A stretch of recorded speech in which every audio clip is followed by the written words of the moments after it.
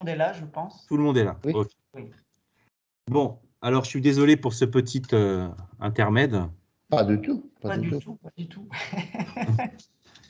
Alors on en était, euh, je disais que euh, il y avait cette idée que euh, les, les- les activistes identitaristes en fait développent une vision, euh, veulent en finir avec l'immigration comme stigmate, ce qui est tout à fait légitime, mais que euh, ils développent paradoxalement une vision raciale et anti-humaniste des rapports sociaux.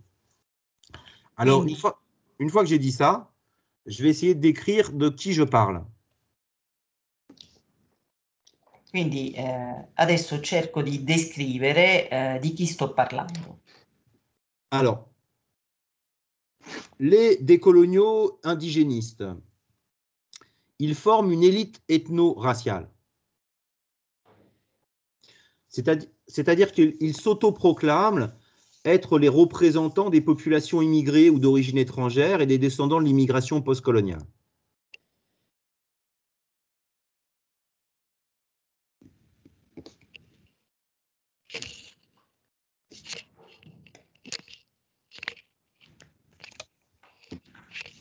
Quindi eh, i decoloniali indigenisti chi sono? Eh, dicono di essere un'elite etno-razziale eh, che denuncia eh, il privilegio bianco e eh, eh, si proclamano i discendenti eh, dell'immigrazione postcoloniale.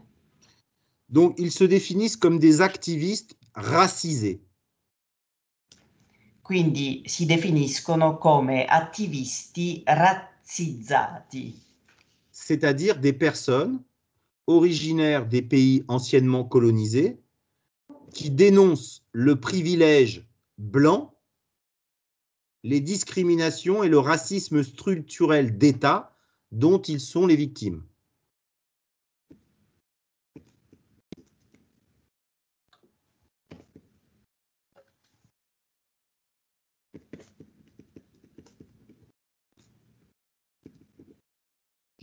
Allora, si tratta di eh, persone eh, che provengono dagli ex paesi eh, coloniali, eh, denunciano il privilegio bianco, le discriminazioni e il razzismo strutturale eh, di Stato eh, del quale si sentono vittime.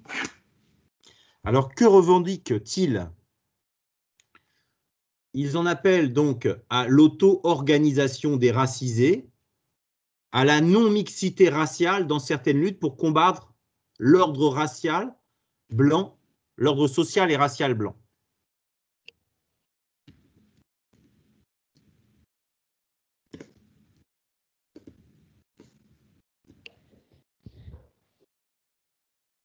Quindi, eh, quali sono le loro eh, rivendicazioni? Eh, rivendicano un'auto-organizzazione eh, dei eh, razzizzati contro il razzismo strutturale di Stato e la non eh, mixità eh, razziale. eh, vogliono combattere eh, l'ordine sociale e razziale bianco. Et donc, ils s'opposent, je le disais tout à l'heure, à l'antiracisme universaliste qui représente l'expression d'une posture morale et hypocrite à leur, à leur- à leur sens, à leur avis.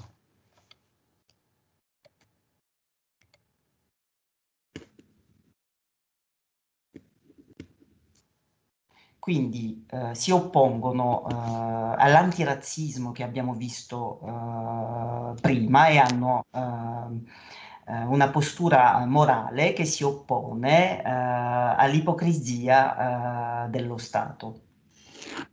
Et donc, l'antiracisme universaliste, à leurs yeux, est associé à un antiracisme occidentalo-centré. Vous allez pouvoir le dire. Occidentalo-centré. Occidentalo Centré. centré. permettant de ne pas penser les processus racistes produits par des personnes s'identifiant euh, au pays du Sud, pour reprendre la terminologie donc, de ces indigénistes permettant de ne pas penser. Les processus racistes qui sont produits euh, donc par des personnes qui s'identifient au pays du Sud.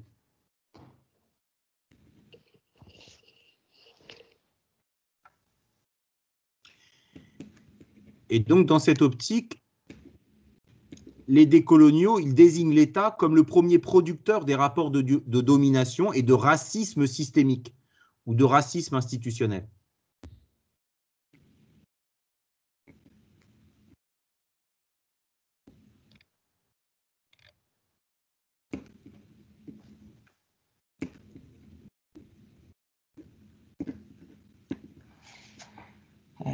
Quindi questi antirazzisti universalisti vengono eh, associati al razzismo occidentalo centrato, eh, che permette di eh, non pensare eh, ehm, il processo eh, razzisto, razzista pensato da alcune persone eh, I decoloniali denunciano eh, una posizione razzista istituzionale. Alors, comment on peut définir le racisme institutionnel? Le racisme institutionnel, c'est, on peut, on peut l'associer à des mécanismes structurels plus ou moins visibles qui fabriquent des discriminations indirectes et directes à l'encontre des minorités.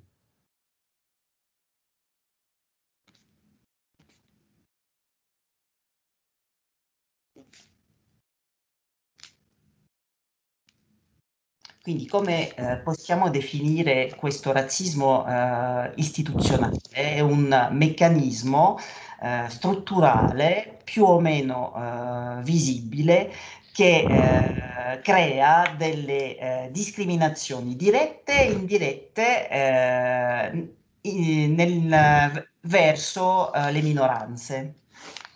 Et donc, estimant être victime du racisme structurel d'État, Euh, d'être humilié par l'impérialisme et le colonialisme de l'Occident et du pouvoir blanc, s'inscrivant dans une dynamique d'autodéfense, les décoloniaux vont assumer une fonction de confrontation, de rupture avec les institutions républicaines qu'ils jugent co-responsables du racisme structurel dont ils sont victimes.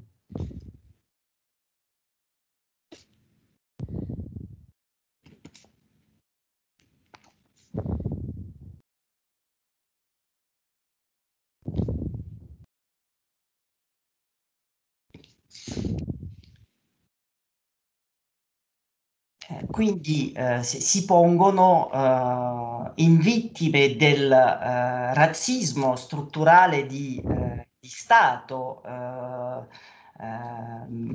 su, che subiscono varie umiliazioni, sviluppano delle dinamiche di autodifesa decoloniali una funzione di, eh, confronto, di confronto, di eh, rottura con le istituzioni che giudicano eh, responsabili eh, delle discriminazioni eh, delle quali sono vittime. Et donc pour ces acteurs, donc face à ce qu'ils appellent la mécanique raciste de l'État, seul un nous, ce nous étant celui des indigènes ex-colonisé, qui est opposé à un E, c'est-à-dire celui des blancs ex-colonisateurs, peut s'opposer à des pratiques discriminatoires inscrites dans les têtes et dans les corps.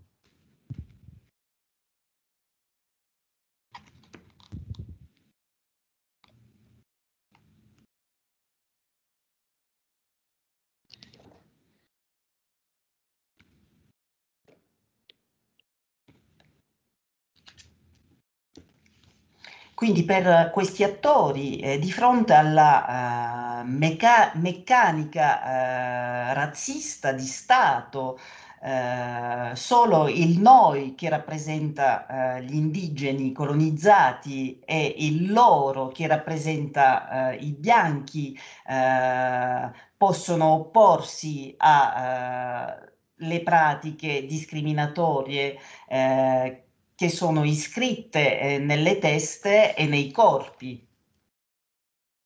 Alors maintenant, je vais, poser la, je vais essayer de répondre à la question que produisent-ils? Et donc, euh, Adesso, pour combattre... tenterò uh, di rispondere alla domanda, uh, cioè uh, cosa producono. Donc pour combattre la discrimination euh, des ex-colonisés, euh, ces décoloniaux, ils s'inscrivent dans une logique d'auto-apartheid. D'auto-apartheid, par exemple, ça veut dire qu'ils proposent des stages de non-mixité dans différents types de luttes. C'est-à-dire que euh, d'auto-apartheid, certaines luttes euh, contre le racisme ne sont pas autorisées à ce qu'ils définissent comme, blancs. Quindi, eh, cosa propongono per combattere le eh? Eh, propongono una logica uh, di auto-apartheid e uh, di razzizzazione, eh, per esempio propongono uh, degli stage di non mixità. Et donc, finalement, à partir d'une posture victimaire, d'une vision qui oppose des Noirs, des Arabes, des musulmans aux Blancs, ces identitaristes décoloniaux, ils participent à mon sens, à la coproduction d'une racisation des rapports sociaux.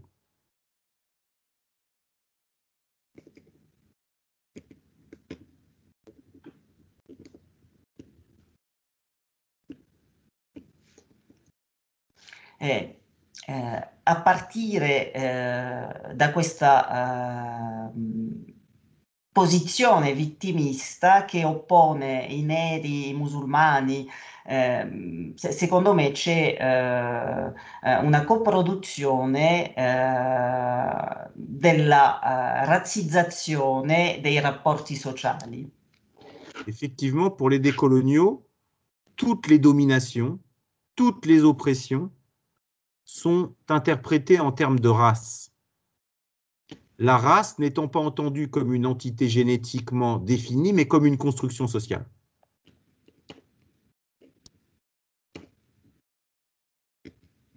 per eh, i decoloniali eh, tutte le dominazioni sono viste in termini di razza, la razza eh, che viene eh, interpretata qui come una costruzione sociale. Et donc, par exemple, dans cette, dans cette dynamique, euh, il y a un philosophe qu'on voit ici à droite euh, sur le slide qui s'appelle Geoffroy de Laganerie, qui se positionne comme un intellectuel organique des combats indigénistes, il affirme qu'il y a le système scolaire en France pour les Blancs et le système pénal pour les Noirs.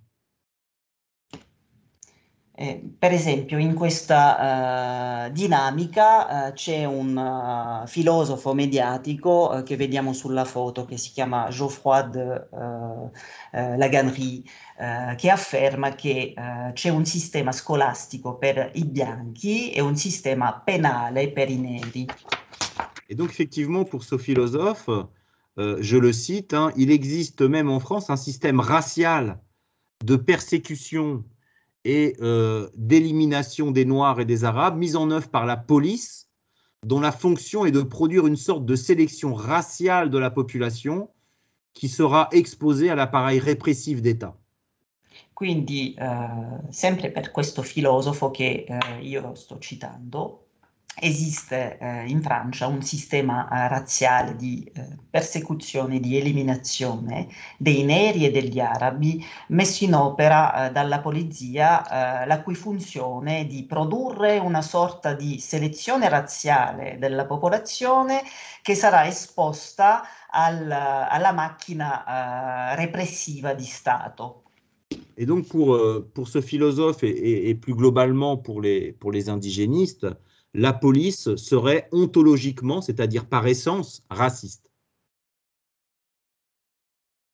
Quindi eh, per lui eh, e più eh, globalmente per eh, gli indigenisti la polizia sarebbe eh, razzista. Et donc les violences policières ne sont pas pensées comme des violences sociales, mais d'abord comme des violences raciales. Quindi eh, le violenze eh, poliziesche non sono pensate come eh, violenze eh, come violenze razziali.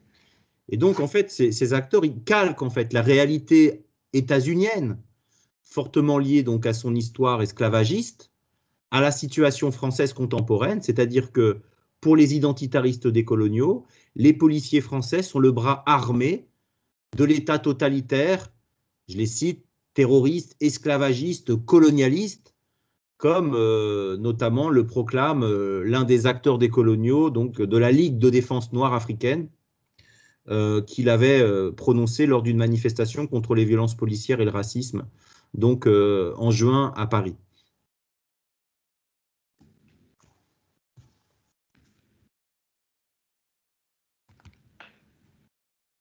E quindi eh, questi attori eh, fanno un parallelo con la realtà degli Stati Uniti, fanno un parallelo con la situazione francese attuale e descrivono eh, la polizia come il braccio armato dello Stato totalitario, eh, vie, eh, cioè viene definita come, eh, definito come sclavagista, colonialista.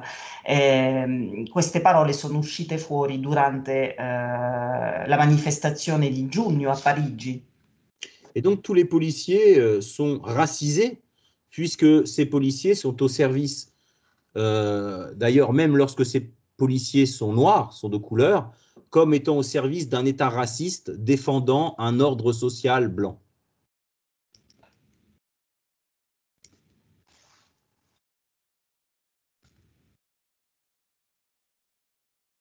Quindi eh, tutti eh, i poliziotti vengono eh, razzizzati, anche se sono neri, eh, perché eh, sono al servizio di uno Stato razzista che difende l'ordine sociale bianco.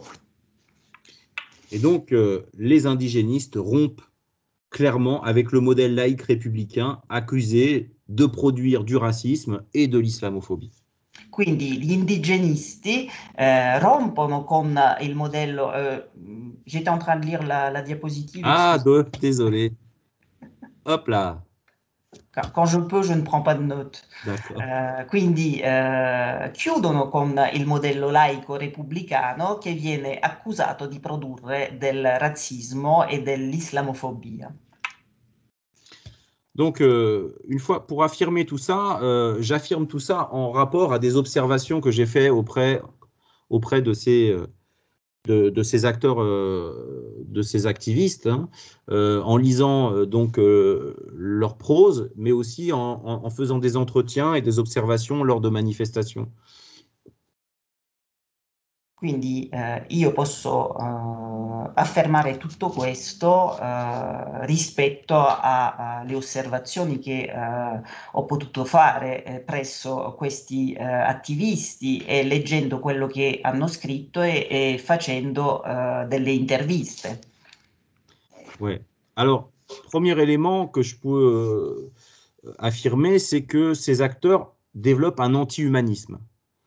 C'est-à-dire que, euh, et là je vais pas, j'avais trop de choses à dire, donc je vais me concentrer sur le, slide. Euh, il plébiscite effectivement euh, une posture humaine transcommunautaire parce que c'est, enfin, justement, développer une posture humaine transcommunautaire va affaiblir l'identité de la communauté de référence et d'appartenance. Donc l'humanisme est perçu comme une faiblesse dans le cadre d'une défense communautaire.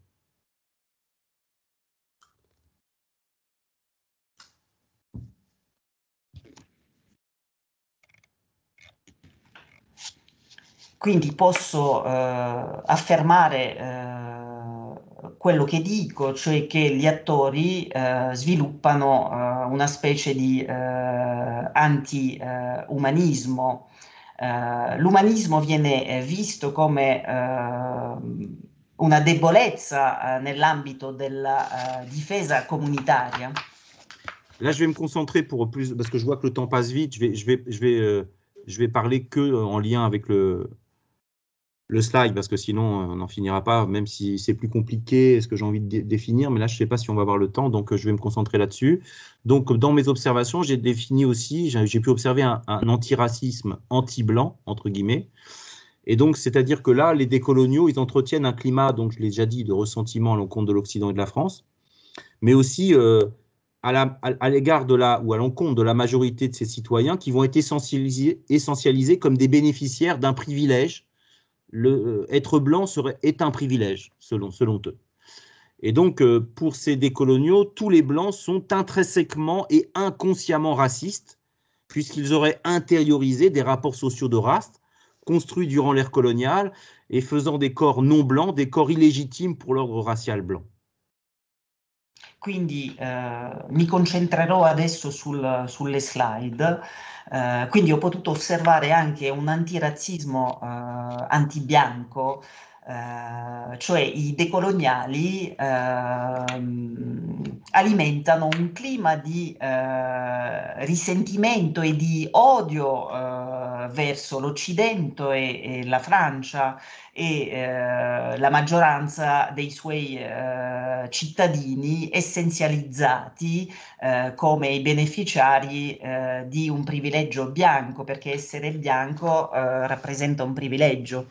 Per i decoloniali eh, tutti i bianchi sono eh, intrinsecamente eh, e inconsciamente razzisti eh, perché hanno interiorizzati i rapporti sociali eh, di razza.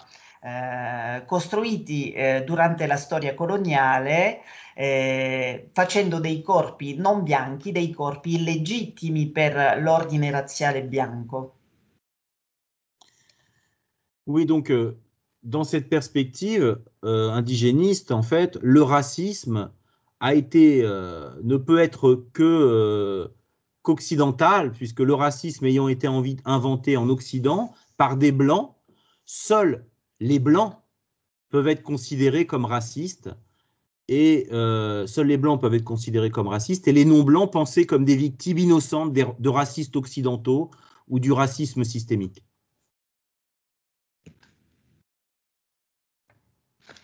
E quindi eh, in questa eh, prospettiva, prospettiva indigenista il razzismo eh, può essere eh, soltanto eh, occidentale, eh, solo i bianchi possono essere razzisti.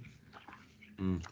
En effet, c'est en accusant uniquement les blancs de racisme, les pseudo-antiracistes, hein, parce qu'ils se définissent comme antiracistes, mais euh, je conteste cette idée qu'ils sont antiracistes, puisque j'affirme qu'ils sont racistes, oublie de prendre en considération le fait que le racisme euh, est d'abord un processus de déshumanisation qui est malheureusement devenu universel.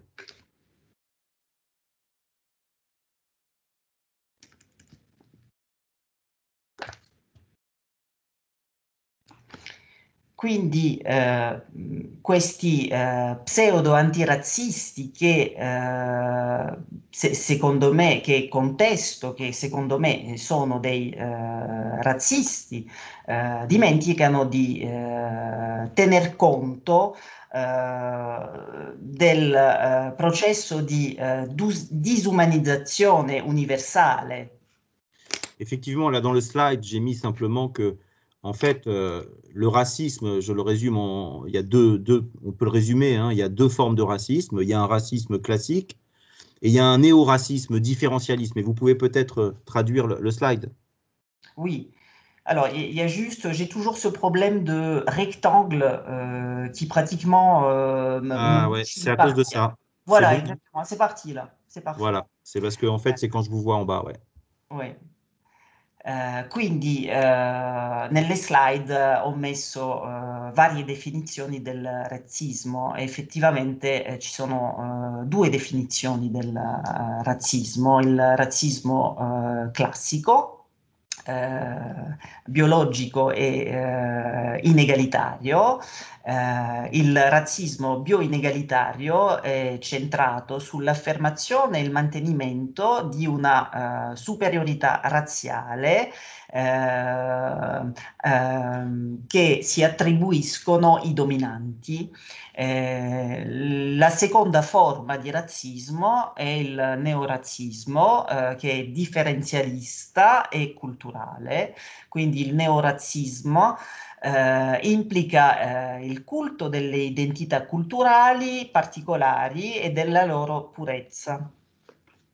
Et donc, le, on peut dire que le racisme, c'est la conjugaison de croyances racialisantes et de dystopies fondées sur l'exclusion, la purification ou la reconstruction de populations au moyen de normes biologiques, mais aussi de normes culturelles.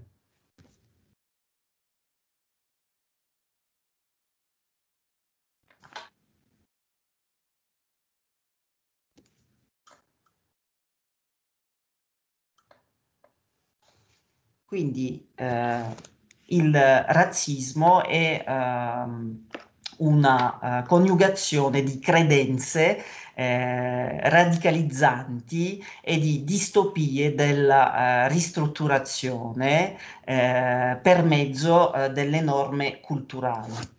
Ainsi, à l'ère globale, effectivement, bien que le racisme soit un projet politique, donc un projet politique d'exclusion, hein, fondé sur l'appel à la violence, à la discrimination, et qu'il a été effectivement inventé en Occident, aujourd'hui, les manifestations du racisme existent sur l'ensemble de la planète.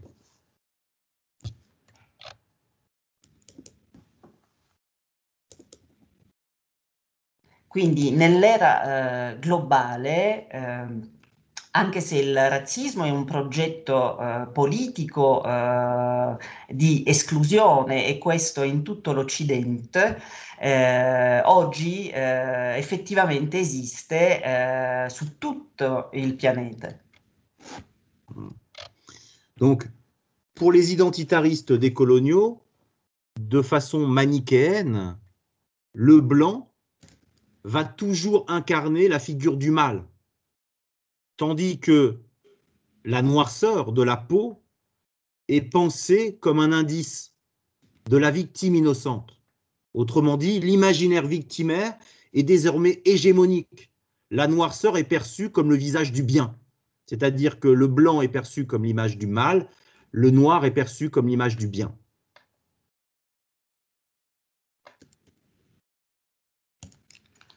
Per gli identitaristi eh, decoloniali eh, il bianco eh, viene visto come eh, la figura del male.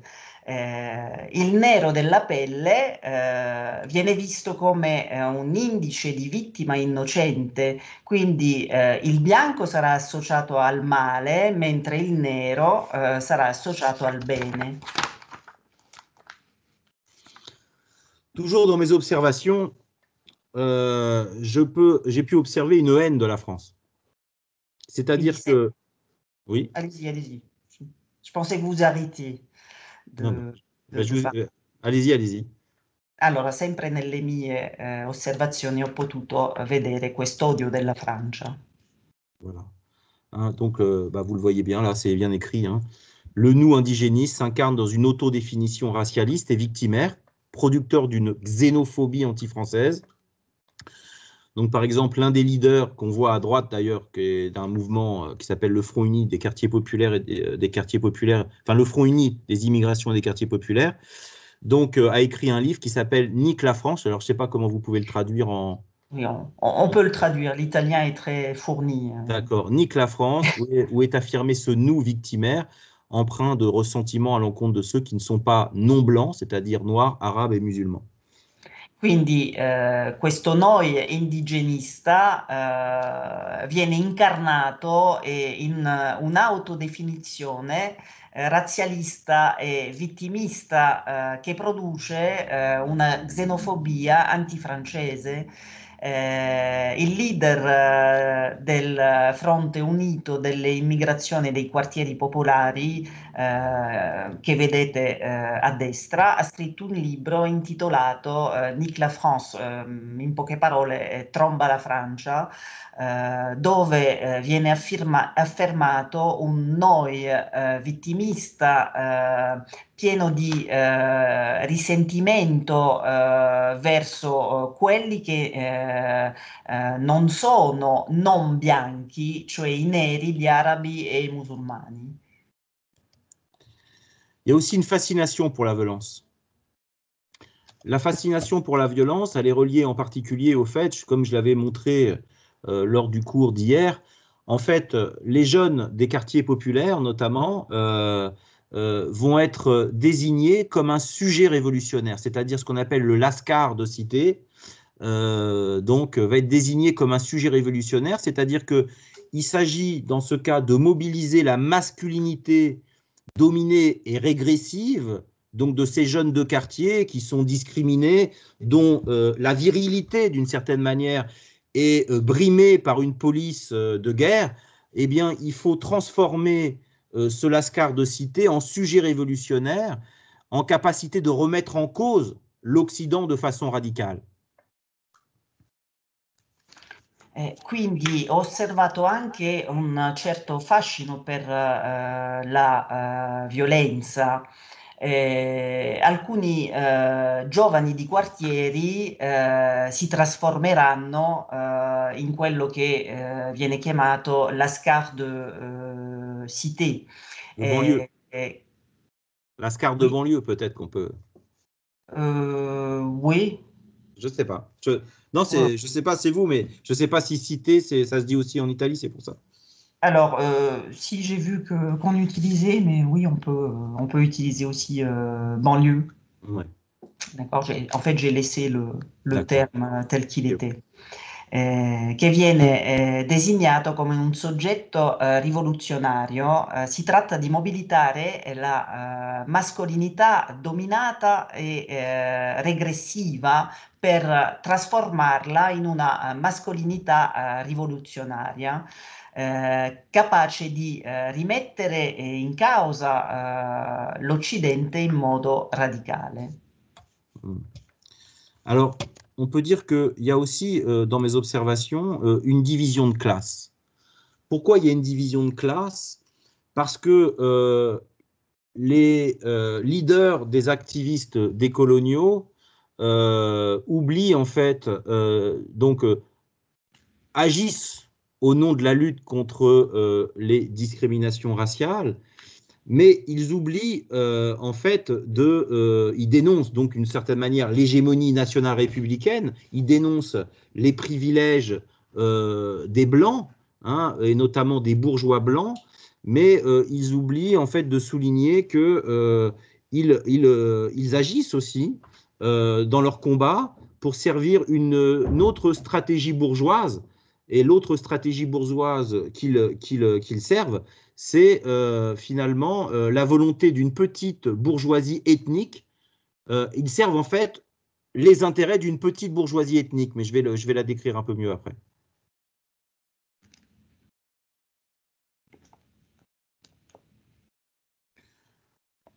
Quindi ho osservato anche una uh, divisione uh, di classe Eh, perché alcuni leader eh, attivisti eh, decoloniali eh, dimenticano eh, di agire per lottare contro le discriminazioni razziali, denunciano l'egemonia nazionale repubblicana, eh, i privilegi eh, borghesi dei bianchi, ma dimenticano che agiscono anche per eh, servire un'altra strategia eh, borghese, per servire gli interessi eh, di una piccola.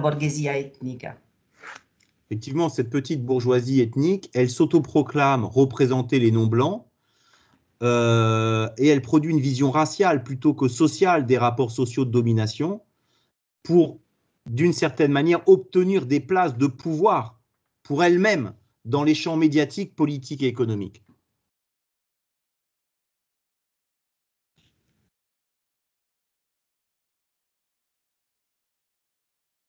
Quindi ehm, questa piccola eh, borghesia eh, etnica si eh, come rappresentante dei non eh, bianchi eh, e ha una visione eh, razziale e non eh, sociale, agisce per la propria visibilità nel campo mediatico. Effectivement, le, le combat de l'antiracisme politique est le combat d'une classe bourgeoise frustrée issue de l'histoire coloniale. Effettivamente la lotta uh, all'antirazzismo politico è uh, la lotta di una classe uh, borghese eh, proveniente dalla storia coloniale. Et comme le, le, dit un historien français qui s'appelle Gérard Noiriel, lorsque le schéma marxiste de la lutte des classes s'affaiblit, les schémas identitaires sont relancés. Et il nous dit que ça s'est toujours vérifié dans l'histoire, quand le social recule, l'identitaire augmente. Alors, lorsque le schéma marxiste de la lutte des classes s'affaiblit, les schémas identitaires sont relancés, puisque ça s'est toujours vérifié dans l'histoire, quand le social recule, l'identitaire augmente.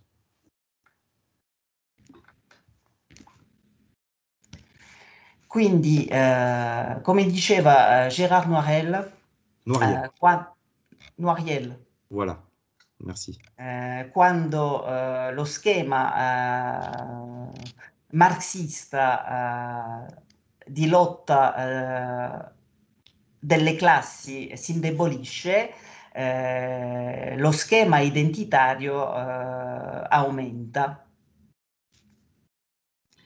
Donc, euh, Je me suis arrêté là. ok. Donc pour ces, pour ces acteurs, ouais, j'avais dit que quand le social recule, l'identitaire augmente. Quindi quando il sociale eh, va indietro, eh, eh, l'umanitario aumenta. Et en fait, ce que ces acteurs nous disent, c'est qu'en échange de places de pouvoir pour les représentants de cette bourgeoisie ethnique autoproclamée, les identitaristes, ils proposent la paix ou la guerre, la paix sociale ou la guerre sociale, ou la guerre raciale, on pourrait dire.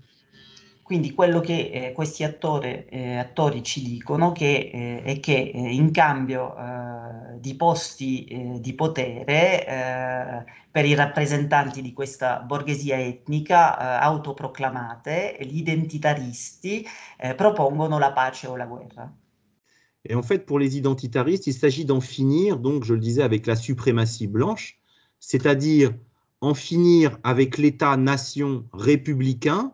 Cet État-nation républicain est désigné comme catho, laïque et blanc, mais il faut en finir aussi avec les soutiens de cet État-nation républicain désigné comme catho, laïque et blanc, ces soutiens juifs qui sont considérés comme les dhimmis de la République. Donc, qu'est-ce qu'un dhimmi c'est des minorités tolérées mais dominées en terre d'islam. Donc les juifs, c'est les, les sont considérés comme les dhimmis en fait de l'État-nation républicain.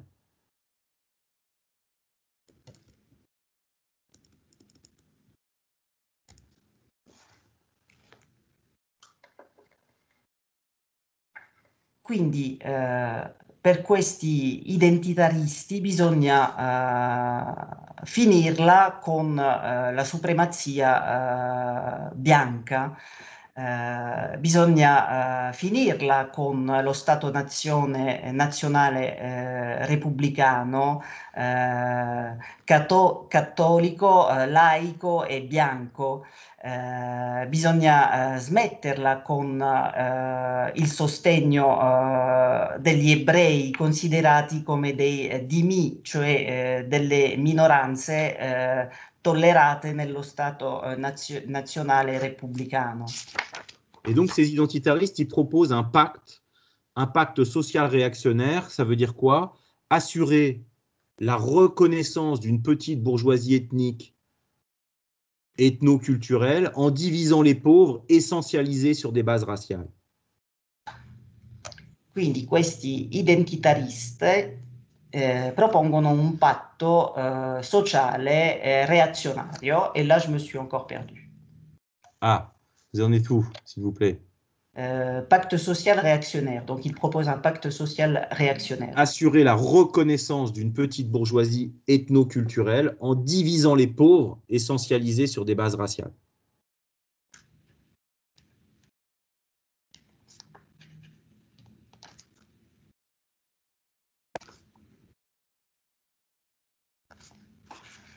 Quindi eh, assicurando il eh, riconoscimento di una piccola eh, borghesia etnoculturale. Et là encore, je me suis perdue.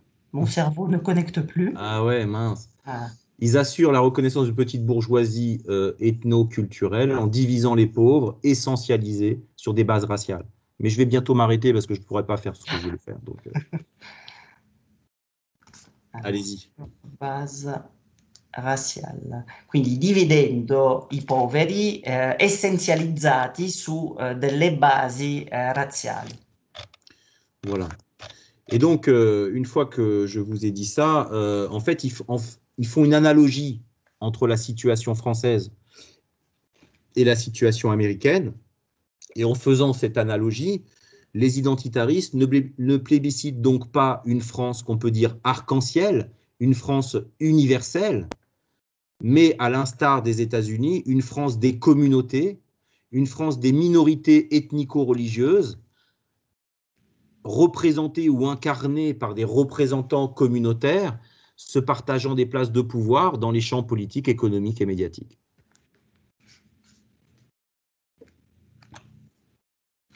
Quindi fanno uh, un'analogia della situazione eh, francese eh, e americana. Eh, eh gli identitari eh, plebiscitano una Francia che no, non è una Francia plurale, arcobaleno, ma una Francia composta di minoranze etno-religiose. donc qui sont incarnés par des représentants communautaires qui se partagent des places de pouvoir, justement dans les champs politiques, économiques et médiatiques. Incarnato da uh, rappresentanti uh, comunitari che uh, si dividono i posti di potere. Ok. Et donc, dans ce cadre, en fait, ces acteurs, ils refusent la convergence des luttes des différentes cibles des logiques euh, libérales et sécuritaires, et ils préfèrent défendre des alliances, donc plutôt que la convergence des luttes, ils préfèrent défendre des alliances, mais ce sont des, alliances circonstancielles, des alliances stratégiques, euh, des, alliances stratégiques d'intérêt euh, particulier, fondées sur la dénonciation d'oppressions qui sont spécifiques donc, euh, par exemple, ça va être la négrophobie, ça va être l'islamophobie, ça va être l'homophobie, ça va être la transphobie. C'est-à-dire qu'on n'est pas dans une lutte contre les formes d'oppression euh, raciste, mais on est dans des luttes d'oppression particulières, et c'est donc des alliances circonstancielles, mais de la part d'acteurs qui défendent leurs propres intérêts, plutôt que, je dirais, euh, une lutte contre les processus racistes en général.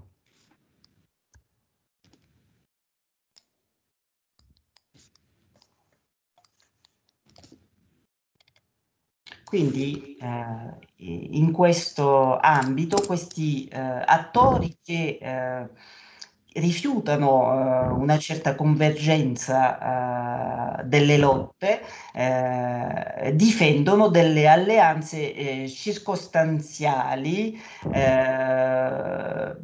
basate su eh, degli interessi eh, fondati eh, eh, sulla denuncia, per esempio, dell'omofobia, della negrofobia. si tratta di una lotta all'oppressione particolare, non si tratta di una lotta contro un processo razzista in generale. Et donc, pour terminer là-dessus, critiquant le mouvement social organisé sur une base de classe, classiste, les décoloniaux affirment un anti-mouvement racial. Quindi, eh, per finire su questo, eh, criticando eh, il movimento eh, sociale, eh, i decoloniali eh, affermano, j'avais pas lu la dernière phrase, affermano un anti-movimento sociale. Donc, je vais, peut-être, euh, on termine peut-être là, je ne vais pas aller jusqu'au bout. Donc, je, euh, voulais dire que c'était un mouvement, euh, j'avais une proposition analytique en disant que c'était un anti-mouvement social, mais c'est pas grave. En fait, je terminerai par dire que finalement, ces décoloniaux, ils sont dans une impasse. Pourquoi ils sont dans une impasse? Parce que, en fait, pour lutter contre les processus de discrimination raciste, c'est des coloniaux euh, illégitimes l'existence d'un séparatisme ethno-culturel à travers euh, des formes d'auto-apartheid qui sont euh, productrices d'une relation de guerre identitaire potentiellement permanente. quindi eh, finirò su, eh, su, su questo, eh, eh, per lottare contro di, i processi di discriminazione eh, c'è una legittimazione eh, dell'esistenza di un separatismo etnoculturale, eh, l'auto-apartheid, eh, che produce una relazione di guerra identitaria eh, potenziale permanente. Voilà Walter, parce que je pourrais continuer pour dire notamment que la gauche est, est ambivalente, mais je ne sais pas si on a encore le temps, si on veut garder un peu de temps pour discuter. La, la gauche était toujours ambivalente. C'est l'ontologie de la gauche. Être polyvalent. Ouais, tu, tu, as raison, tu as raison. Polyvalent. Non, mais je, je pense que pour donner à, à, aussi à Nadia l'opportunité de, de, respirer. De, de, Tout à fait. Je, je, je pense que. Non, là, je suis arrivé là. Ah, tu, es, tu es arrivé, ok. Alors, nous sommes, nous sommes arrivés, nous sommes même arrivés. Et, euh, Manuel, je, je te, te, demande si, si tu peux euh, penser à, à, à, à, mettre sous, sous forme écrite d'un article euh, bien sûr, dans, bien sûr. tu vas expliquer mieux, même pour les, pour les, pour les, pour les coursiers, pour les, pour les participants au cours. Et, et si, si tu ne, si n'as pas l'opportunité de, de, de, l'envoyer en italien, de le faire traduire, euh, l'important c'est que, que tu me, euh, me donnes une, une, communication, tout comme, comme, comme j'ai dit ce matin à, Hervé, et, et, nous pouvons à, penser à, à, organiser toutes choses.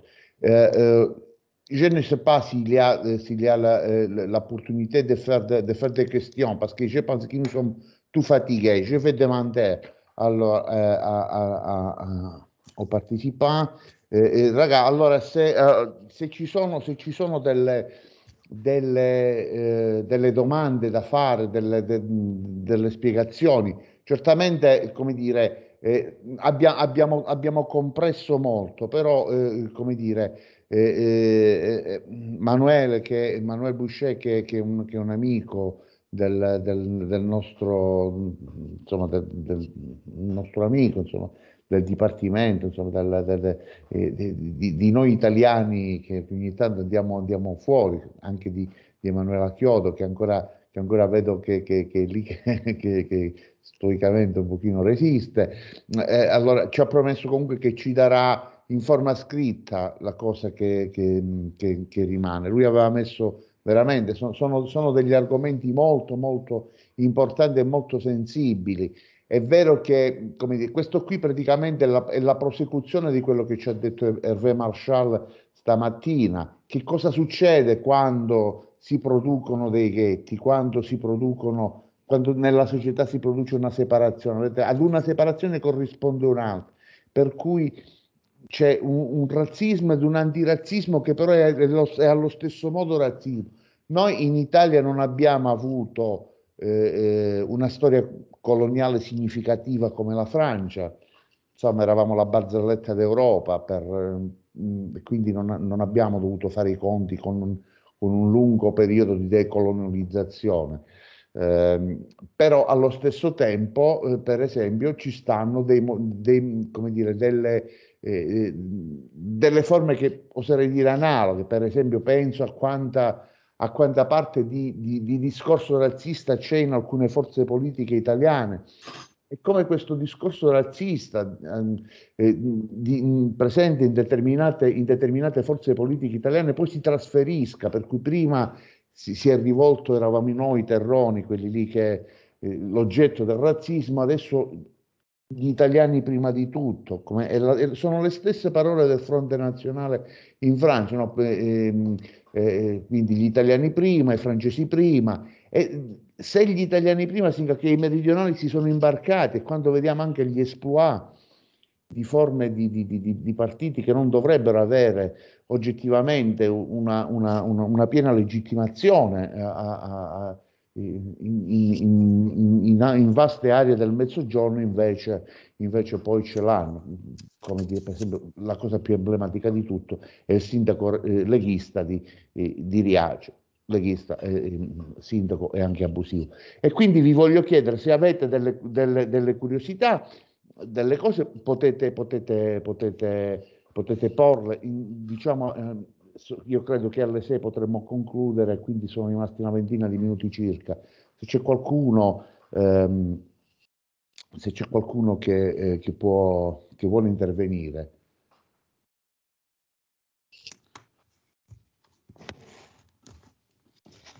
Nessuno?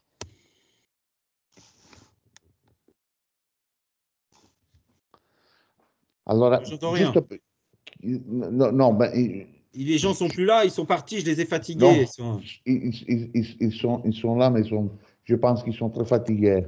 Euh, euh, mais euh, si, si, si, si Emmanuela, elle n'a pas une question, Emmanuela? Elle est partie avec son fils? Non, Emmanuela, Emmanuela est, est, ici. Voilà, Emmanuela. Manuela. Pose-moi une question méchante. Je, je le contrôle encore, il est sous contrôle. Mais peut-être vous m'écoutez mal, mais j'espère que, que vous m'entendez. On t'entend très bien. Non, la communication très intense, comme toujours. Non, je, je, parle en français, je parle en italien, tout le sais.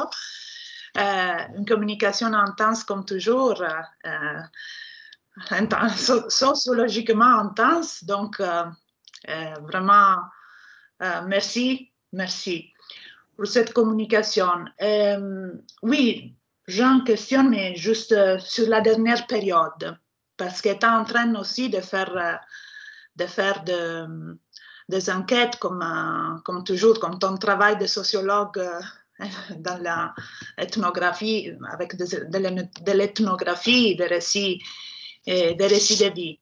Et hum, avec la pandémie, ou pendant et après la pandémie, dans les quartiers populaires plutôt que euh, les équilibres aussi, non, dans ce, type de force, dans cette dynamique complexe qui t'a décrit. Euh, euh, juste, je voulais, je voudrais savoir si pour toi se pose en question, non Qu'est-ce qui s'est passé pendant la, pendant la pandémie Qu'est-ce qu'il peut changer aussi? En Italie, les grands débats, non C'est maintenant, la pandémie, c'est une occasion aussi pour la lutte sociale, pour euh, la confrontation entre les, mouvements, entre visions différentes, euh, perspectives différentes. Je, juste, j'ai une mm. curiosité si dans tes études, maintenant, dans ces périodes-là, euh, la pandémie, c'est en question pour dire, pour voir, pour, pour faire naître de, de, nouvelles questions. Mm, mm. Je ne sais pas. Si, c'est en question, c'est un questionnement aussi dans, dans ces périodes qui était en train aussi de faire des recherches parce que chez nous c'est tout bloqué. Moi je fais des, choses en distanciel, c'est pas c'est pas vrai. Euh, donc insomma, juste j'avais la curiosité si tu as questionné cette, mm. cette période aussi dans la. Alors, merci pour cette question. Euh, j'ai pas travaillé en tant que tel sur la pandémie, mais euh, comme tout le monde, euh, je la constate. Et en tout cas, je constate les conséquences en fait des choix politiques concernant la gestion de la pandémie. Et euh, évidemment, il y a plusieurs niveaux d'analyse. il y a bien sûr le niveau médical, mais je ne suis pas compétent sur cette question. Et puis, il y a le niveau plus politique. Et donc, par rapport à, ce qu'on a traité hier, ce que je constate évidemment, c'est que la contestation euh, sociale, qui était extrêmement forte juste avant euh, la pandémie, notamment avec la période des Gilets jaunes, où le gouvernement euh, du président actuel, donc Emmanuel Macron, était très en difficulté vis-à-vis d'une partie de la population qui ne s'était jamais révoltée c'est-à-dire euh, non pas la population des banlieues, non pas la population euh, euh, des, je dirais des, salariés, des ouvriers, mais une population périurbaine, une, population d'une petite classe moyenne vivant dans les dans les dans la proches euh, vivants, enfin dans, les, dans, le monde de la ruralité ou de la périurbanité, mais étant les premières victimes finalement des délocalisations et de la globalisation, ils n'avaient jamais connu ça. Et donc il y a une énorme violence, mais qui exprimait un énorme malaise de la société. Et évidemment, la pandémie et donc les restrictions de manifester, bah, ont d'une certaine manière euh, pétrifié en fait ces contestations sociales. Ça, c'est un premier élément. le deuxième élément, c'est que dans les quartiers populaires en tant que tels, euh, la gestion de la pandémie n'a fait que renforcer les, les problèmes euh, qui étaient déjà très puissants au sein des quartiers populaires. Et, c'est sûr qu'il y a un gros débat en France entre ça, a renforcé les fractures. C'est-à-dire qu'il euh, y a les, personnes qui ont pu vivre la pandémie en allant dans leur maison de campagne. Quand on était à Paris, on pouvait aller dans sa résidence secondaire euh, à la campagne ou proche de la mer. Et les, habitants des quartiers populaires, donc qui euh, vivent dans des familles nombreuses, dans des, dans des immeubles où ils n'ont plus le droit de sortir. Donc il y a eu beaucoup de... En fait, il y a eu une sorte de repli et une, fracture qui s'est accentuée. Donc, euh, j'ai le sentiment qu'il y a une, que c'est pétrifié et qu'évidemment, euh, la fin de la sortie de la pandémie va faire rejaillir, peut-être de manière brutale, euh, les questions et les problématiques sociales, culturelles et politiques qui sont toujours présentes et qui ne feront que de s'accroître, puisqu'évidemment, on peut imaginer que la fin de la pandémie va amener aussi du chômage, une augmentation du chômage, une augmentation de la crise économique. Euh, voilà. Alors, si je regarde les choses de manière moins négative, il faut quand même reconnaître que la société française, bien qu'elle soit, comme je l'ai montré, fracturée, elle a une histoire, notamment euh, vis-à-vis -vis euh, de l'État social, qui reste quand même assez puissante. Et donc, euh, s'il n'y a pas eu de révolte, c'est aussi parce que l'État euh, verse, a accepté en fait de faire du déficit. Pendant des décennies, on nous a dit que le déficit c'était impossible. Et euh, pendant la pandémie, l'État a, accepté de faire du déficit et en fait de soutenir en fait les, ménages pour éviter effectivement eh plus de qu'il n'ait plus de quoi vivre. Donc pour moi, cette pandémie, elle, a, renforcé les fractures, mais elle a pétrifié euh, les contestations, les, contestations collectives. Mm-hmm. Mais euh, euh, c'est simplement un moment. Et, à mon avis, ça va se décupler quand, nous sortirons de, cette, de cette crise sanitaire. On doit espérer que nous ne sortirons jamais. Non. Qu'est-ce que tu dis Quel cynisme No, no, no, no, no.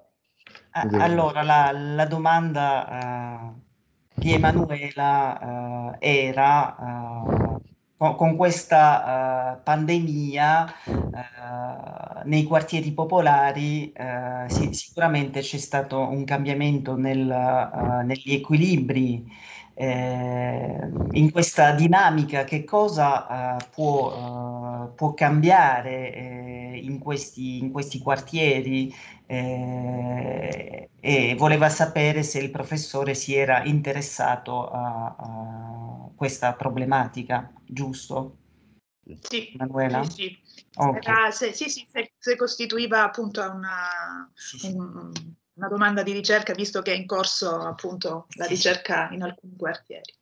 Quindi la risposta. Quindi eh, non ho eh, ancora lavorato sulla uh, pandemia, eh, ma ho osservato eh, le scelte eh, politiche eh, riguardo alla gestione di questa pandemia eh, e qui ci sono più livelli di eh, analisi, c'è il livello eh, medico eh, per il quale eh, non sono competente e un livello più eh, politico eh, prima della pandemia eh, c'erano delle, eh, movimenti di, dei movimenti di contestazioni molto forti eh, con eh, per esempio i Gilets jaunes per i quali il governo ha avuto tante difficoltà, eh, difficoltà eh, perché si trattava eh, di una popolazione che finora non si era mai eh, rivoltata, eh, non si trattava di una popolazione eh, delle banlieue, ma di una popolazione periurbana, un, una piccola classe media che viveva in un mondo rurale eh, ma eh, erano state le prime vittime della globalizzazione. Eh, prima della pandemia c'era tanta uh, violenza e malessere nella uh, società. Questa pandemia ha pietrificato uh, i movimenti di contestazione, questo è il primo punto. Eh, invece il secondo punto è che ehm, eh, nei quartieri popolari eh, la gestione della pandemia ehm, ha rinforzato i problemi che esistevano già eh, in questi quartieri, ha eh, rinforzato eh, le fratture. Eh, per esempio, al- alcune persone eh, sono potute andare eh, nelle residenze secondarie in campagna, mentre gli abitanti dei quartieri no. Ehm, eh, c'è stata una specie di eh, ripiego, secondo me, eh, e la frattura si è accentuata. Mh, mm, si è tutto uh, pietrificato e secondo me la fine della pandemia farà scoppiare i problemi culturali e, e politici. per esempio ci sarà un aumento più generale Dopo, se voglio essere un po' più eh, positivo, eh, la società francese ha una storia eh, potente eh, rispetto ehm, allo Stato sociale. Eh, durante la pandemia lo Stato ha accettato di fare del deficit per eh, sostenere i nuclei familiari. Eh, secondo me questa pandemia ha rinforzato la frattura, ma ha petrificato, pietrificato eh, le contestazioni collettive e secondo me eh, sarà tutto eh, molto amplificato alla fine di questa crisi sanitaria. Oui, alors je voulais rajouter peut-être quelque chose.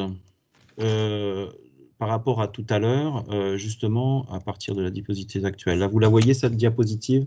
Des observations. Projet anti-laïque. Là, vous la voyez, c'est ça? Oui. Et par rapport, bon, même si je n'ai pas pu définir véritablement ce que je voulais dire par rapport à, à la gauche et à l'ambivalence de la gauche vis-à-vis de tous ces débats, je pense qu'il y, y, a vraiment une, une énorme fracture qu'il faut rappeler dans tout ça, c'est que cette, cette affiche que je, montre sur le diapo, ça montre dans quel cadre on est, c'est-à-dire dans quelle situation on est. Il y a eu euh, au mois de novembre, en fait, une grande manifestation le 19 novembre 2019 euh, euh, contre l'islamophobie, suite en fait à une tentative d'attentat de militants d'extrême droite contre une mosquée. Et en fait, durant cette manifestation qui a été constatée, la grande partie de la gauche des partis et des syndicats ont manifesté avec des islamistes, en tout cas des, frères musulmans, qui euh, ont comme euh, projet de remettre en question le projet de la laïcité française en considérant que le projet de la laïcité française, qui veut effectivement bah, ce qu'on a défini tout à l'heure, hein, c'est-à-dire la, séparation des églises et de l'État, est considéré comme une forme de racisme. Et là, on le voit avec l'affiche que j'ai photographiée pendant la manifestation. On voit en Grande-Bretagne, euh, une policière euh, avec un voile. aux États-Unis, un médecin avec un voile. Et en France, il est écrit place interdite aux femmes voilées, euh, plage interdite aux femmes voilées, plage interdite aux chiens. Autrement dit, comme quoi la France serait anti-musulmane. Et c'est fondamental parce que, je ne sais pas, je vais aller jusqu'au bout de ma réflexion, puis après vous traduirez comme vous voudrez. Mais lors de cette manifestation, beaucoup de gens de gauche, des, partis de gauche ou des représentants étaient présents. Or, le, vrai problème qu'il y a aujourd'hui au sein de la gauche française vis-à-vis -vis de ces débats, c'est que la gauche française, pendant des décennies, pendant même des, des centaines d'années, je pourrais dire même depuis 200 ans, a euh, lutté pour le libre arbitre et pour lutter contre le cléricalisme. Et notamment, ils ont lutté contre la religion catholique et son influence au sein de la société française, considérant qu'il fallait séculariser la société française et donc euh, travailler à l'émancipation des individus contre les cléricaux. Or, une partie de la gauche française aujourd'hui, par, euh, électoralisme, euh, alors qu'il luttait contre la pression religieuse qui s'opérait euh, chez les individus et notamment auprès des classes populaires et finalement contestait finalement la religion comme étant le pium du peuple, eh bien en ce qui concerne les musulmans, eh bien ils assimilent des musulmans à des opprimés, aux damnés de la terre et ne remettent pas en question en fait la pression religieuse dont peuvent être victimes les habitants des quartiers populaires issus de l'immigration. Parce qu'il y a aussi des promoteurs religieux dans ces quartiers qui ne militent pas pour l'émancipation des femmes, mais qui militent pour, en fait, euh, une forme euh, de revendication identitaire de type politico-religieuse. Et donc, il y a une crise profonde au sein de la gauche entre ceux qui, qui développent et qui défendent un projet universaliste, anticlérical et émancipateur, et, un, et une gauche euh, qui, d'une certaine manière, défend euh, parce qu'ils assimilent les musulmans aux nouveaux opprimés, aux nouveaux damnés de la terre, et qui défendent en fait euh, euh, le conservatisme religieux d'une partie des musulmans. Et donc, il y a une vraie crise de la gauche. Et cette vraie crise de la gauche, en fait, c'est la crise de la société française, me semble-t-il. Et qui va et qui produit de la violence. Parce que j'en ai pas parlé, parce que c'est tellement énorme. Évidemment, l'Italie, vous en avez entendu parler. Euh, l'assassinat et la, décapitation du professeur d'histoire-géographie Samuel Paty. Et évidemment, le fait qu'un jeune euh, ait pu décapiter au couteau un professeur d'histoire-géographie parce qu'il avait montré des caricatures de Charlie Hebdo, vous imaginez bien, je dirais, l'angoisse dans laquelle est toute une partie de la société française vis-à-vis de ces questions qui, à mon avis, ne sont loin d'être réglées.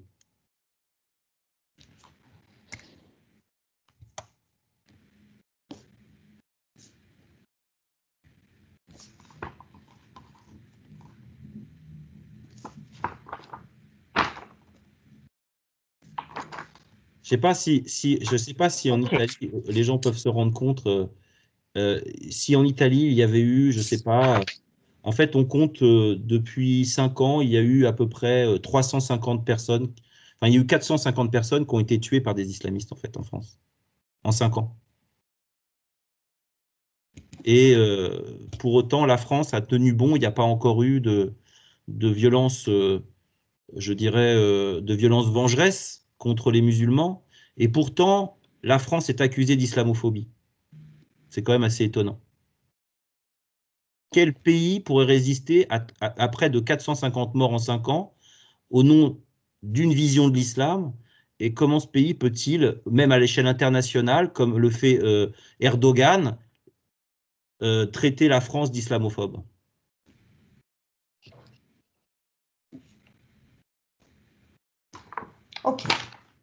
Allora, eh, vorrei aggiungere eh, alcune eh, cose eh, e eh, vorrei definire un po' eh, questa ambivalenza della sinistra.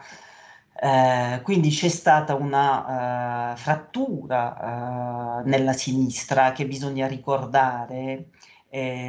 alors, si vous pouvez projeter l'affiche, comme ça je leur fais voir. Ouais.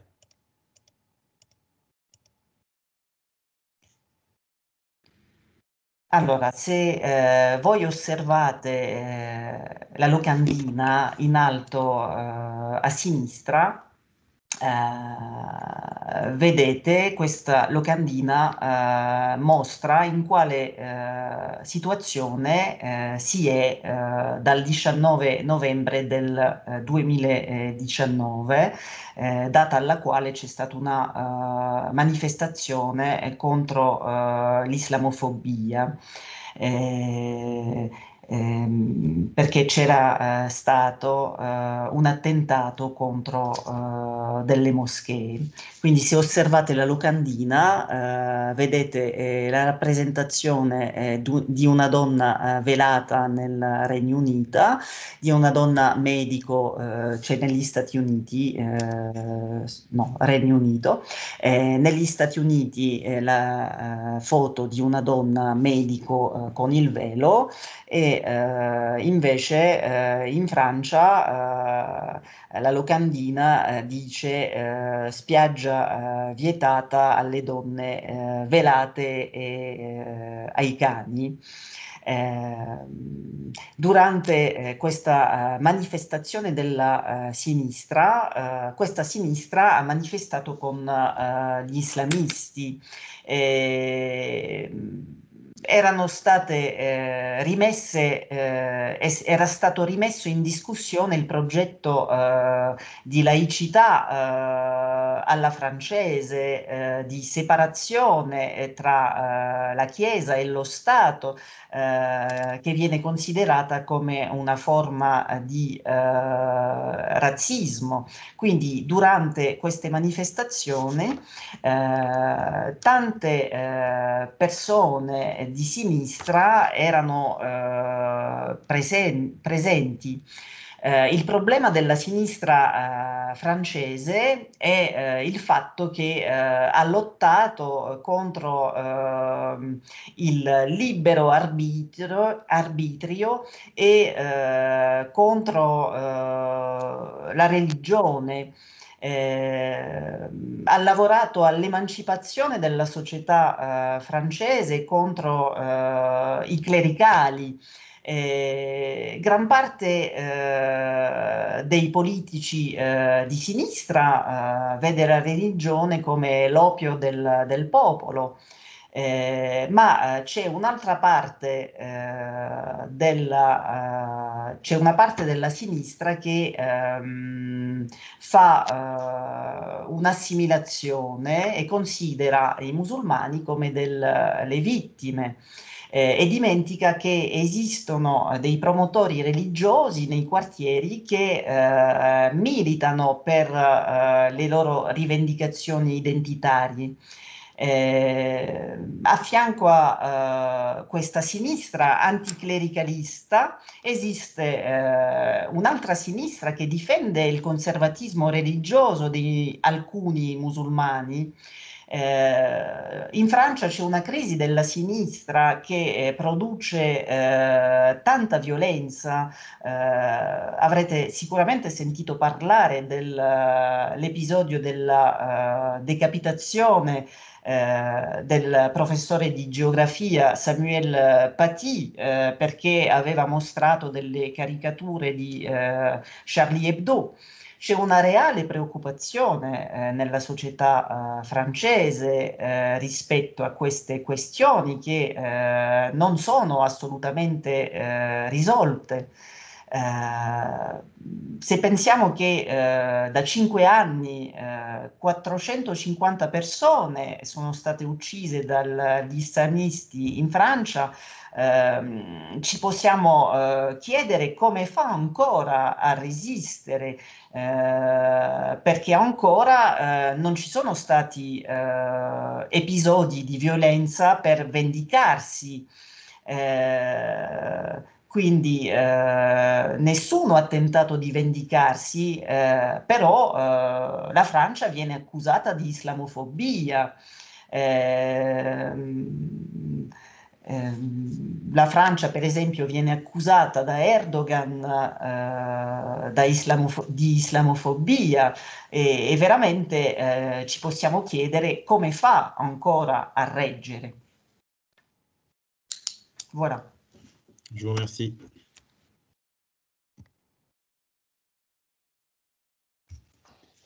Très bien. Très bien, Manuel. Euh, tu as mis beaucoup de, de viande au feu, comme, comme nous disons en, en, Italie. Euh, C'est-à-dire que mm, je pense que ta euh, communication peut être là, euh, la prosecution de, de, la communication d'Hervé, parce qu'Hervé nous a montré comment comme, les, les, les, comme est important l'organisation du territoire et comme les ghettos vont se former, l'ethnisation de ghettos. Et sous cette disposition se vont confronter deux euh, différentes identités qui sont euh, au même temps euh, vont produire des de formes de, d'intolérance, si nous, ne voulons pas parler de, de racisme mais euh, minimum d'intolérance. Et alors, et alors, je pense que, que oui, que nous, euh, nous je, pense que, je, que, nous pouvons utiliser non, cette pronom, nous devons résister parce que euh, les choses qui, les affaires de, à partir de, de, Charlie Hebdo à, l'attentat de Nice, de, Strasbourg, de, tout en France, mais même euh, euh, dans, dans, dans, des autres pays, la Belgique par exemple, en, Espagne, au Royaume-Uni, je pense que nous, nous sommes sous, attaque. C'est-à-dire que nous ne, ne, ne, devons pas penser que nous sommes en guerre. Parce que je pense que nous avons, nous, peut-être que nous n'avons pas les, anticorps pour le virus du, du, virus euh, Covid-19, mais nous avons les anticorps euh, contre le virus du fanatisme religieux. Du fanatisme religieux des de, deux côtés du fanatisme religieux et d'un autre fanatisme qui s'oppose avec les mêmes moyens au, fanatisme religieux. C'est-à-dire que, euh, euh, je peux dire, sans être rhétorique, mais 2000 ans de civilisation qui, qui, ont produit la, société ouverte que nous, que nous avons en France, mais même en Italie, je pense que nous avons euh, dans notre société toute la possibilité d'avoir de, de, de, la, euh, des réponses qui, qui des réponses utiles pour, pour arrêter cette, mmh. cette montée de, de, de, de pazzia, comme on dit pazzia, de, folie. De, de folie, de, de, folie. Merci. Alors, à, à, alors euh, mais, mais en même temps, euh, cette réponse ne sont pas des réponses automatiques. Non? Nous avons le, le, futur dans notre main. Et on doit être vigilant, bien sûr, mais. Euh, oui, bien sûr. Euh, mais tu sais, mais tu sais, Walter, ma, oui. ma, dernière enquête que je suis en train de réaliser en ce moment dans les quartiers populaires, justement, parce que je crois qu'il faut absolument pas confondre l'islamisme et l'islam. Oui. Absolument pas. Et donc, euh, par contre, lutter contre l'islamisme, ce n'est pas lutter contre l'islam. Oui, oui. Et d'une certaine manière, l'extrême droite veut, faire veut, veut, confondre islam et islamisme, et une partie de l'extrême gauche, par clientélisme, oui. par clientélisme, n'accepte pas de lutter contre l'islamisme. Et en ce sens, c'est eux qui participent à assimiler musulmans et islamistes, même si ce n'est pas leur objectif à la base mais en même temps, ils pactisent avec des promoteurs de morale religieux qui empêchent les musulmans ordinaires de vivre leur foi et, et loin évidemment de toutes ces idéologies mortifères. Donc je pense qu'il y a une responsabilité de la gauche, une partie de la gauche. Je dis clairement, l'extrême droite, pour des euh, progressistes de gauche, de toute façon, ce sont des adversaires, des ennemis. Mais je veux dire que la gauche, si elle ne prend pas en considération qu'il existe des activistes qui sont dangereux pour les démocraties, qui sont d'abord dangereux pour les musulmans. Oui. C'est, elle doit accepter sa, sa, sa croix d'une certaine manière. Elle a accepté d'aller faire la guerre en Espagne dans les années 30. Il faut aussi qu'elle accepte de pouvoir lutter et de, de défendre, j'ai envie de te dire, de défendre le PKK, c'est-à-dire de défendre les Kurdes contre les islamistes de la Turquie, euh, de la même manière qu'ils ont dû se battre à un moment donné pour défendre les républicains en Espagne. Et je veux dire que de ne pas, de ne pas accepter, de, de ne pas considérer qu'il existe des fascistes islamistes au même titre qu'il existait Ah des fascistes catholiques, c'est inacceptable. On est dans un autre monde. Et, de ne pas accepter pour cette gauche de lutter contre les fascistes islamistes, c'est eux qui participent à donner le pouvoir à l'extrême droite. Parce que en ne reconnaissant pas qu'il y a un danger islamiste en France et en Europe, eh bien de ne pas le reconnaître, c'est donc donner du pouvoir à ceux qui voient le monde dans un choc civilisationnel. Et la réalité, c'est que Marine Le Pen, elle est aux portes du pouvoir en France. Marine Le Pen est aux portes du pouvoir. vrai. En 2022, il est possible qu'elle prenne le pouvoir. Et je veux dire que quelque part, euh, il y a une responsabilité de ceux qui, ne veulent, qui veulent se mettre la tête dans le sable. Je veux dire qu'à un moment donné, il faut lutter euh, entre progressistes, et quelle que soit la couleur de peau, euh, l'origine, ce n'est pas le problème. Et ne, ne pas, de ne pas considérer, tu as raison, tu dis, il ne faut pas déclarer la guerre. Mais la guerre nous a été déclarée. Ouais. Nous sommes en guerre, non pas contre le virus, mais contre des islamo-fascistes qui, sont, qui agissent à l'échelle internationale. Et aussi en France. Et je veux dire que quand euh, Erdogan met en difficulté l'Union européenne, encore il y a deux jours, Oui. lorsqu'on laisse Erdogan faire ce qu'il veut, de vouloir reconstruire un califat en humiliant l'Occident et ses valeurs, ses valeurs de lumière, ses valeurs universelles, Oui, eh bien, euh, d'une certaine manière, on prépare en fait une réaction qui sera une réaction d'extrême droite. Et, euh, et ça, ça me fait très peur.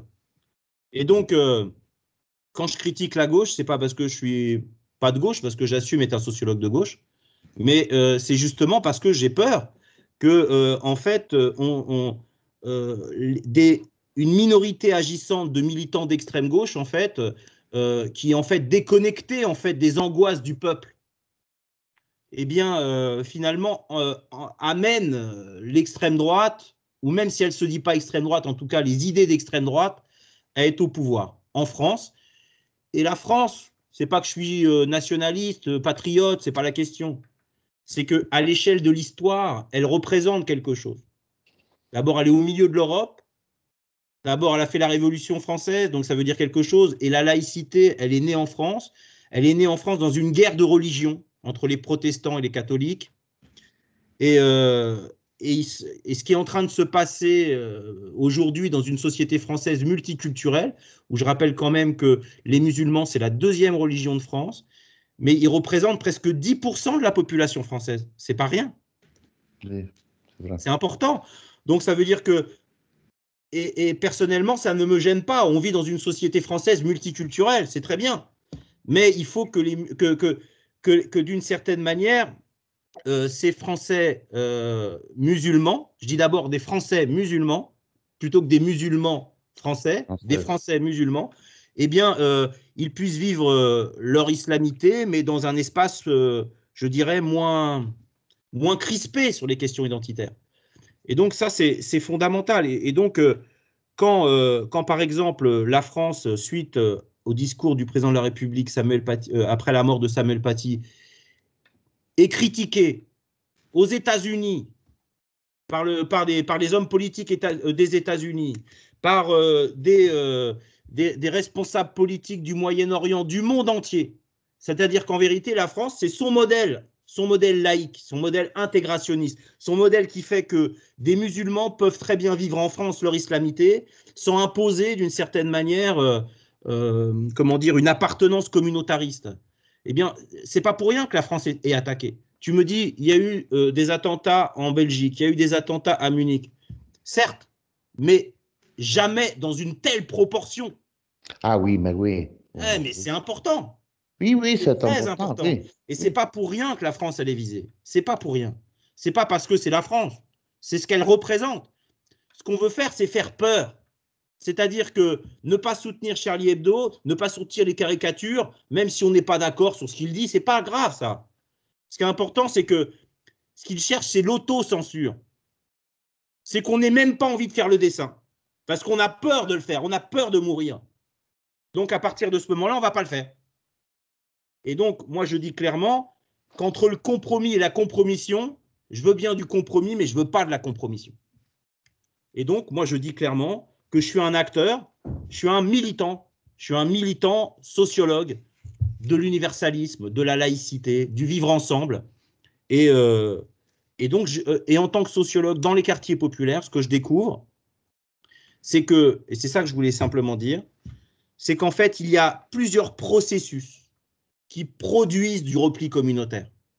Il y a d'une part, et ça, faut pas le nier, des discriminations racistes, des discriminations raciales et religieuses, des discriminations racistes qu'il faut combattre par le haut et par le bas. Mais ces discriminations, elles produisent aussi de la victimisation dans un contexte de ghettoisation qui donne du pouvoir à des acteurs de, de la diasporisation et qui donc donne du pouvoir à des promoteurs communautaires. Et tout ça se complexifie. Donc en vérité, il y a une articulation, discrimination, victimisation, ghettoisation, euh, communautarisation, mais aussi diasporisation. Tout ça, c'est un chaudron. C'est un chaudron. Donc évidemment, pour lutter contre tout ça, eh ben, il faut lutter contre les discriminations. Il faut lutter contre la ghettoisation, mais il faut aussi lutter contre la diasporisation. Parce que la diasporisation, ça ne crée pas une identité, euh, une identité collective dans un pays. Il y a des personnes qui vivent en France, mais qui sont connectées avec euh, El Jazeera, avec l'Algérie, avec euh, le Pakistan, avec le Maroc, avec et en fait, ils ne se sentent pas français. Ils ont des papiers français, mais ils ne se sentent pas français. Parce qu'ils sont discriminés, mais pas uniquement. Parce que leur communauté leur dit, tu es d'abord d'origine marocaine, tu es d'abord d'origine algérienne. Et euh, d'une certaine manière, celui qui dit, mais non, je suis français, eh ben, il va dire, mais non, tu es un traître à ton pays d'origine. Donc ça veut dire comment on peut créer une société unie, si d'un côté l'extrême droite dit vous ne serez jamais des Français, et de l'autre côté, on leur dit, dans la communauté d'origine, vous ne serez jamais des Français. Mais ça, c'est, c'est, la guerre civile pour demain.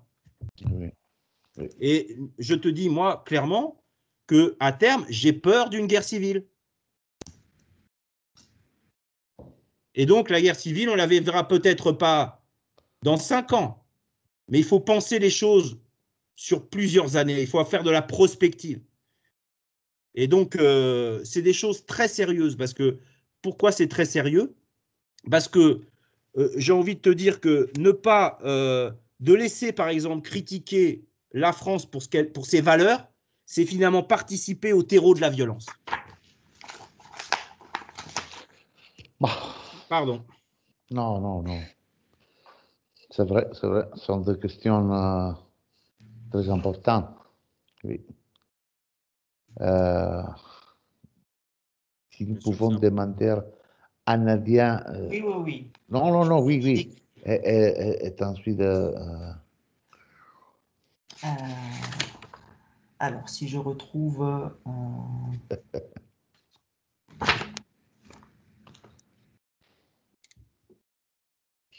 Allora, penso di esserci.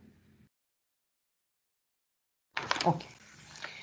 Quindi eh, non bisogna confondere eh, l'islamismo e l'Islam. Eh, bisogna eh, lottare contro l'islamismo, eh, ma non contro eh, l'Islam. l'estrema destra tenta di confondere un po' le idee e di mettere allo stesso livello islamismo e islam.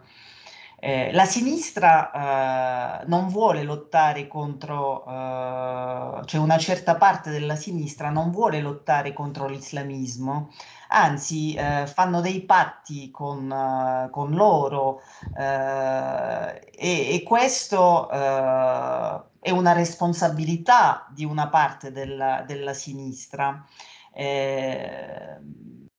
Fin quando la sinistra non prenderà eh, in considerazione che esistono del, degli attivisti, eh, le cose non, non andranno bene. Eh, negli anni 30 eh, la sinistra ha accettato di andare in guerra contro eh, la Spagna, eh, oggi deve accettare di difendere per esempio eh, i curdi allo stesso modo. Ehm, deve riconoscere che eh, esistono dei fascisti islamisti eh, e che parteci- deve riconoscere che eh, il loro atteggiamento partecipa a dare potere all'estrema destra.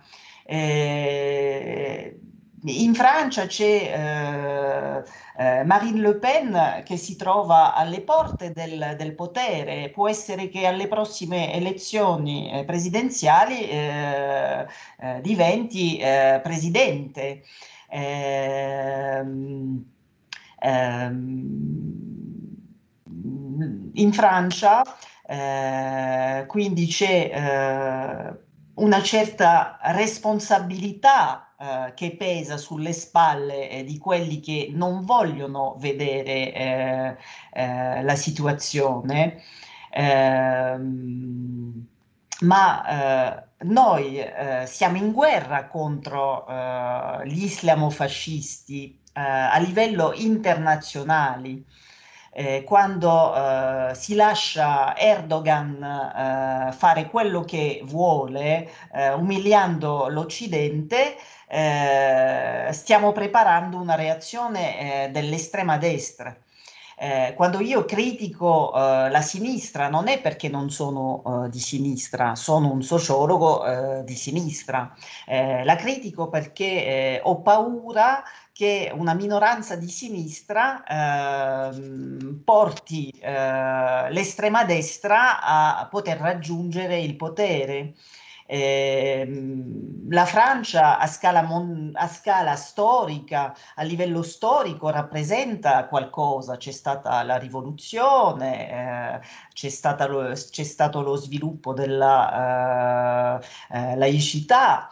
Eh, nella società francese ci sono eh, tanti eh, musulmani, rappresentano il 10% della popolazione eh, francese e bisogna che questi francesi musulmani, e noterete che non, non, dico musulmani francesi, ma francesi musulmani, ehm, abbiano la possibilità di vivere la loro islamità in spazi meno tesi.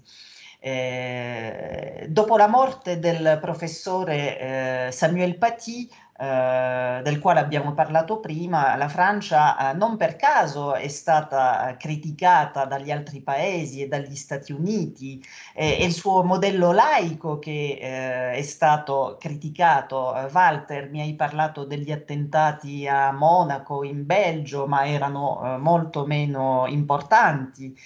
Eh, la Francia eh, rappresenta un bersaglio perché ehm, eh, rappresenta, eh, per, per, quello che rappresenta, ehm, loro cercano eh, un'autocensura, contano sul fatto che la gente ha paura di morire.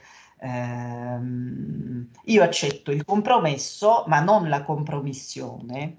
Eh, sono un militante dell'universalismo eh, della socialità. Eh, in, nei eh, quartieri popolari ci sono, eh, si sviluppano eh, più processi eh, c'è una specie di eh, ripiego comunitario, eh, ci sono eh, delle discriminazioni eh, razziste che producono una vittimizzazione in un contesto di ghettizzazione e questo dà il potere ad alcuni promotori.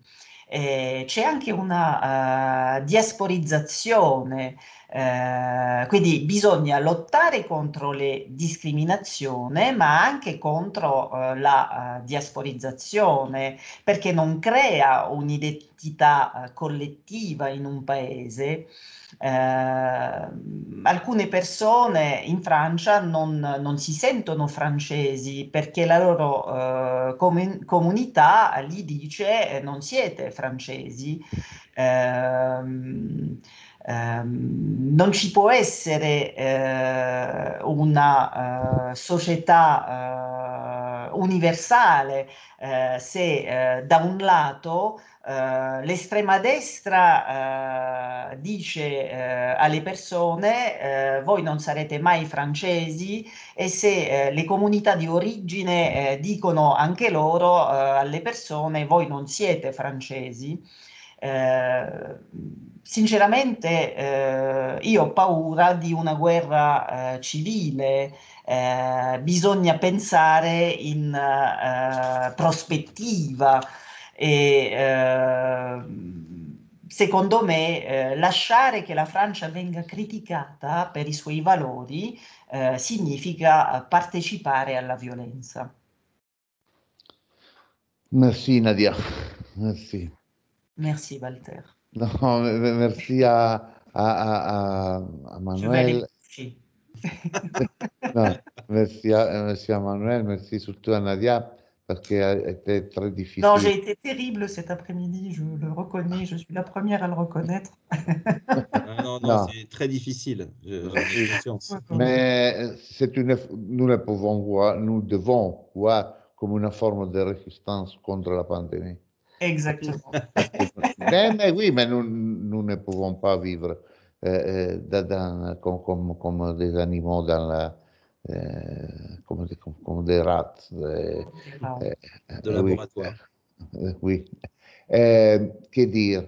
Je voudrais remercier encore une fois Manuel pour, pour nous avoir donné l'opportunité de, de, de, nous confronter avec des problèmes qui, qui sont des problèmes globales, à partir de la France, mais qui sont des problèmes, des, des problèmes globaux. Et, merci encore et nous, nous, nous, attendons de, de, de t'avoir ici, non euh, à, à, la, à, la, conclusion, s'il y aura la possibilité d'organiser un colloque en, en, forme présentielle, euh, oui, nous, nous, nous aurons l'opportunité de, de, de parler, de continuer à parler, de continuer sa conversation qui, qui ne va pas terminer aujourd'hui. Aujourd'hui, c'est une, on dit, une, une partie, non? Qui va, c'est un, un, un, une conversation euh, euh, continue. Euh, et, et, alors, en attendant, les, les, les, je demandais aussi à, à, si tu as des, des, des, comment dire, des références euh, bibliographiques qui tu nous, vous, vous, par exemple, je n'ai pas compris le, le, nom de ce sociologue qui Marière Eric. Si tu nous Éric Marlière. Marlière. Éric Marlière, ouais. Il vient de sortir un ouvrage. Eh, eh, parce que peut-être très intéressant. Euh, à. Ouais, c'est un, un ami qui vient de sortir un ouvrage qui s'appelle euh, ah. La fabrique sociale de la radicalisation. Tu le peux montrer à l'écran si tu... Comme ça. Ok, ok, merci. Oh, si tu as des, des autres, euh, des autres euh, choses qui tu penses qui seront intéressantes pour nous, je te prie de, de, sûr, de, nous, de nous, envoyer. A, eh, aux, participants, ai partecipanti del corso li ringrazio della pazienza la, la, la, Grazie volta... al professore, eh, eh. tantissimo, anche per la passione che ci ha messo nel raccontare. Merci de ta passion, a dit la, la, la, parce que c'est pas, c'est pas normal de, de, de voir un, un, sociologue de l'action, parce que tu es un sociologue qui, qui, qui va à, à, à mettre ensemble la, la, la, sécurité des études, mais aussi la, la passion des de, de, de formes d'intervention. Euh, ok, et alors, euh, giovedì che nous avons, nous avons terminé. La, la, la volta prossima sarà l'ultima venerdì mattina col professore Fantozzi, poi venerdì pomeriggio eh, a, ci trasferiremo. Eh, Valentina avrà pensato a mandarvi tutto, tutto il, eh, il programma eh, che sarà diverso dal solito. Dovremo, dovremo spostarci su Facebook o comunque su degli altri, su degli altri collegamenti eh, per andare a concludere questo travagliato corso di alta formazione. Eh, ancora una volta grazie, buon journée, eh, buon dimanche et bon week-end à, espérant qu'il a, qu'il a plu va à, à passer, à terminer. Et, et demain, demain, Manuel, demain, il y aura le soleil, ok? Exactement, les, tu as raison. Soleils, les soleils de l'avenir, ok? Exact, exact. ok, ok. Bon, en tout cas, j'espère à très bientôt, à très bientôt à vous tous. Et de toute façon, on se verra en présentiel à Perpignan, puisque tu viens à Perpignan. Oh, oui, oui, bien sûr, bien sûr. Bien sûr. Au revoir. Au revoir. Merci, merci Nadia. Merci. Merci. Allez, au revoir.